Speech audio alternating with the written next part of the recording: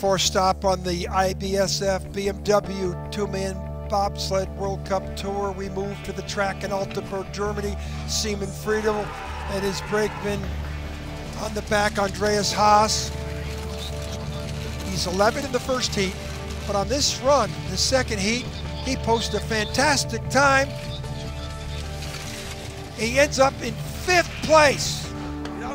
Best finish of the season for the young pilot. Team Justin Kripps. Cam Stones is brakeman. Their third World Cup points, but after the first heat, they were seventh. Kripps knew he needed to turn it on.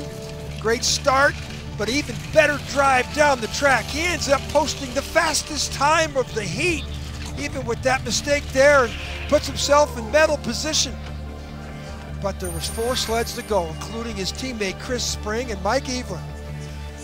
Well, the Springer doesn't get the start time this spring, and Stones does, but he finished fourth in this race two weeks ago, right behind his teammate.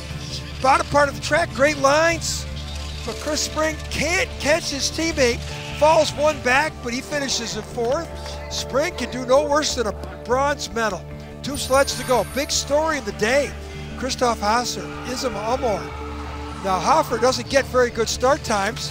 13th best in this run, but he proves he's got as good eyes and hands as anybody. Comes down the track, perfect lines. He needed them, and he overtakes Kripps on the bottom for his first ever silver medal in two-man bobsled.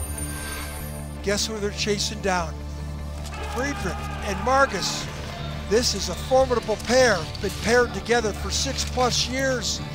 And the two decathletes on their home track, just almost a half second lead and although he doesn't win the heat, second best time to Kripps, he walks away with a 2200s lead.